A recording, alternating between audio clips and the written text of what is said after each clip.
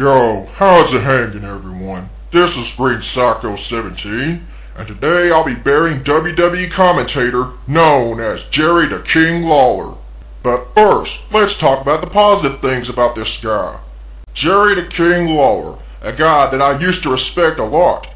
He was funny as fuck. He was one of the best heel commentators of all time. Every time the Divas came out, he always said, Puppies! During the Attitude Era, that's when he was at his best. Hell, even during the Ruthless Aggression Era, he was still funny. He always cheered for the heels. That's what everyone liked about this guy. But something happened to him over the years. And this is where the negative shit comes in, people. So here we go.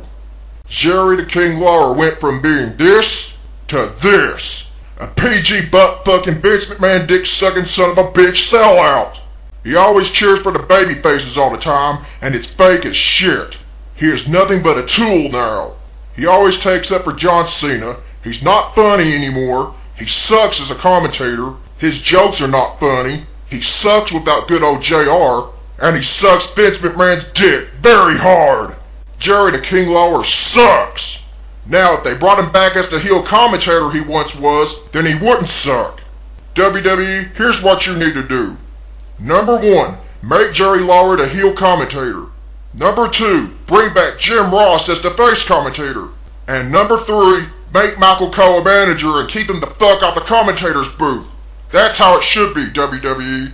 But nope, you're gonna keep shoving the PG Jerry Lawler down our fucking throats like a big long sloppy bull's cock.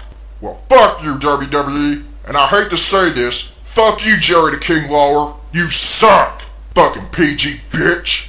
Well, that's all the shit I have for now, everyone. So until next time, peace out and bye bye, bitches!